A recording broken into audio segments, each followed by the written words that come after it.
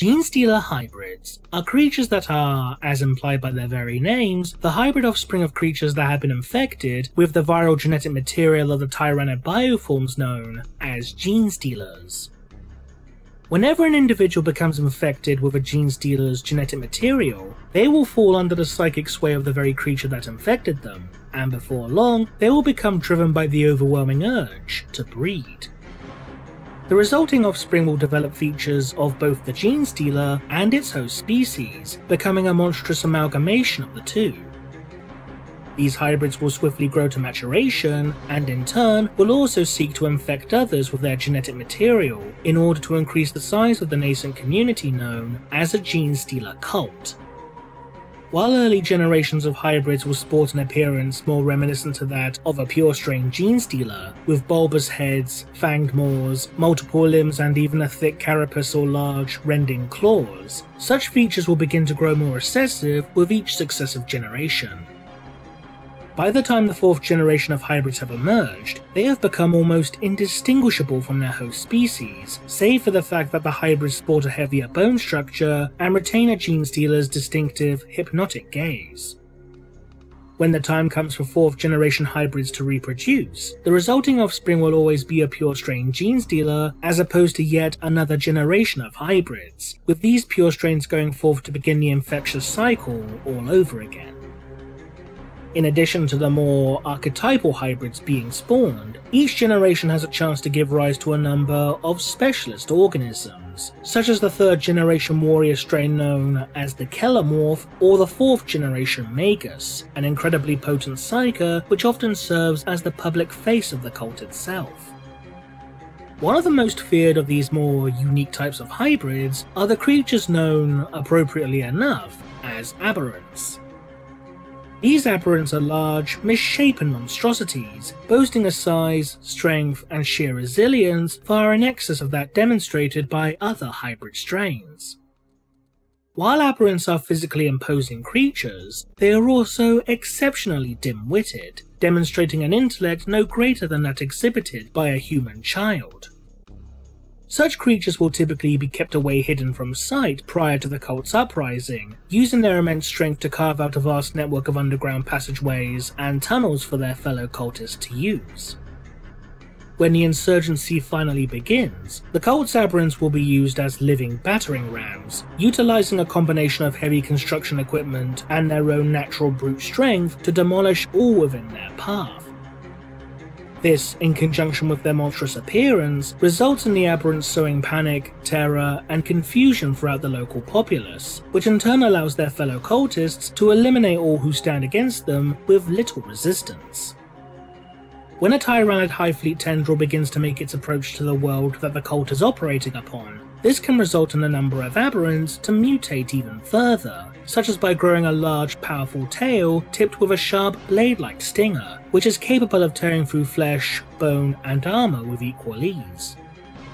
Sometimes a gene stealer Patriarch will choose to imbue an individual aberrant with a mutagen derived from its own genetic material, which in turn results in the hybrid growing even larger and more robust, twisting its very skeletal structure and musculature into a new, more powerful form as well as granting the creature incredible regenerative abilities. These particular aberrants, which are guided directly by the Patriarch via a creature known as a Mindworm Familiar, become known as Abominants. And yet, the exact process that results in the creation of an aberrant remains somewhat unclear, with not even the other members of the cult, such as the previously mentioned Magus Strain, knowing as to how such creatures come into existence. So what could be the exact circumstances that give rise to an aberrant hybrid? The first possibility is that aberrants are simply created due to one or more of their host parents displaying some form of genetic instability, deficiency, or mutation. To use humanity as an example, since humans are the most widely documented host organism utilized by gene stealers, many citizens throughout the Imperium of Man, particularly those that reside upon densely populated and heavily polluted hive worlds, will, over the course of several generations, have their genetic sequence gradually degrade and, in turn, grow increasingly unstable. Upon the world of Necromunda, for example, mutations are generally caused by a buildup of toxins and pollutants within the biosystem, which can occur through the consumption of continuously recycled food, air, and water, or through direct exposure to chemical waste and other such effluvia. The majority of deformities that arise in this manner tend to be fairly minor or otherwise inconvenient, such as webbed hands, extra fingers or toes, or sickly green skin, although more extreme mutations, such as multiple limbs, extra heads, wings, or chitinous armor plating, have also been documented as occurring within those that dwell within the underhives. Because of how common mutation is upon the majority of hive worlds, mutants are often tolerated by imperial authorities, at least to a certain extent, providing that their deformities are considered to be minor or otherwise easy to conceal whereas those individuals that display more grievous abnormalities will typically be hunted down and eradicated. If a gene stealer implanted its genetic material into a host that bore an unstable genome, then the viral seed of the Xenos could inadvertently intensify and exacerbate any inherent genetic impurities displayed by the host species to an extreme degree within the developing hybrid offspring, resulting in the creation of an aberrant. Another possible explanation regarding the creation of aberrants is that they are the result of intense warp storm activity. It's well known that increased exposure to the energies of the warp is known to produce a variety of different mutations within living organisms, both physical and psychic in nature. For instance, with the creation of the colossal warp rift known as the Cicatrix Maledictum, the number of individuals being born with or developing latent psychic abilities has increased to unprecedented levels, with some worlds, particularly those within close proximity to the rift itself, noting that the number of psychically sensitive individuals has increased up to a thousandfold. As a result, should a gene stealer implant its viral seed into a host whilst a warp storm is raging within close proximity of its world, then it's reasonable to assume that this increase in the amount of warp energy could have somehow corrupted the gene stealer's genetic material, so that any offspring produced by the host is born as an aberrant hybrid, or that the host themselves begin to undergo extensive mutation as the Xenos genetic material begins to slowly rewrite their very DNA.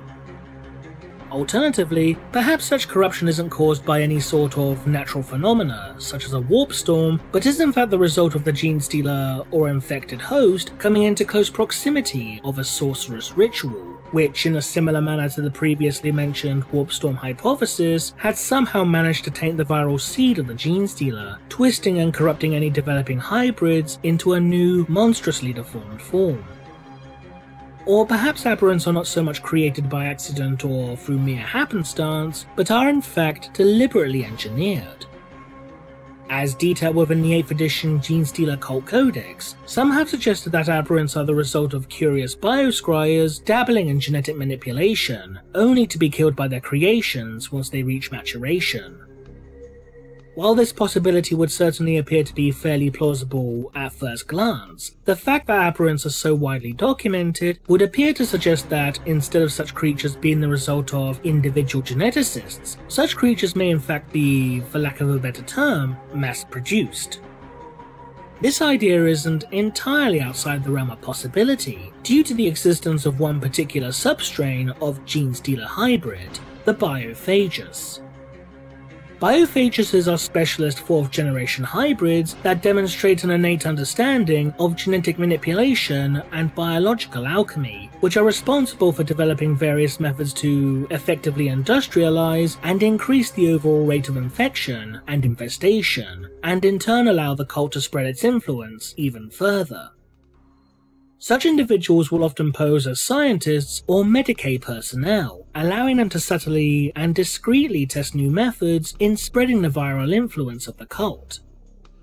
For example, the biophaguses of the Twisted Helix cult had discovered that infection can be transmitted through the ingestion of contaminated food rations and medical supplies as opposed to the slower, more delicate process of infecting a host via a gene stealer's ovipositor organ.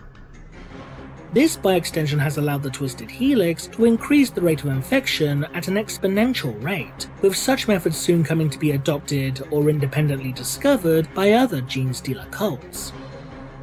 In fact, it would appear that the various attempts made by the biophaguses in synthesizing artificial vectors of infection can inadvertently result in the creation of an aberrant.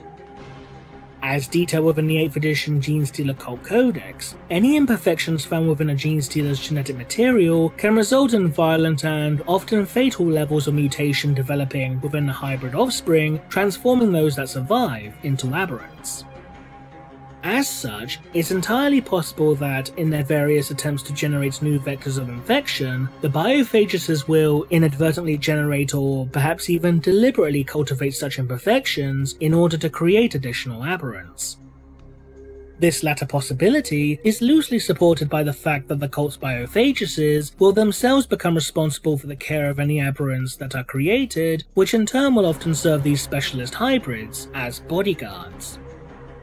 The idea of aberrants being deliberately engineered is also supported by the role that they play within cult society, for as mentioned earlier, it is the aberrants that are primarily responsible for the construction of the vast network of tunnels utilized by the cult, allowing their brothers and sisters to eventually launch their uprising with devastating efficiency, taking their foes completely unaware in the process. Perhaps the truth is a combination of these previously mentioned factors, Perhaps natural mutation or exposure to warp energy results in the initial creation of such broods, while later generations of aberrants are themselves, for lack of a better term, manufactured by the cult's biophaguses in order to bolster their numbers. One thing is for certain, whenever aberrants appear upon the field of battle, little can dare hope to stand in their way and survive. What do you think? Leave a comment below, and thanks for watching.